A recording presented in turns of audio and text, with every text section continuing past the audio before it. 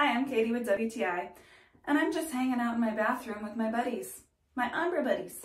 These are decorative wall hooks, and they hold your towels. At first when we bought them, we weren't quite sure how well they would do this, but they do a pretty good job. I really like that it's not just your typical towel bar. These are a little more fun, a little more creative. They come in a pack of three and they each have a different pose. We use one for our hand towel as well. You can use these anywhere in your home, really. You can hang a backpack on them, keys, whatever you need.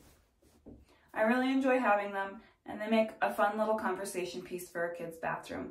I think you'd really like them too, but that's just my point of view.